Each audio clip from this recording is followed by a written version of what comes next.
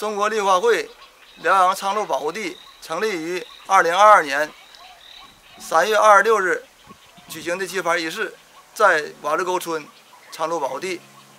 呃，我们呢有志愿者一百多人，现在在一起巡护，呃，保护生态环境，呃，保护这个绿水青山。现在呢，这个昌路基地呢，保护地呢，现在已经昌路已经渐渐长大了。呃，最早的时候呢是二零零八年是几百只，现在已经呃达到两千来只了。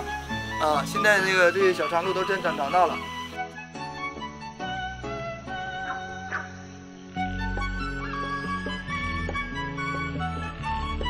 希望呢，这些有爱心人士加入我们这些志愿者行业中来，保护生态环境，保护青山绿水。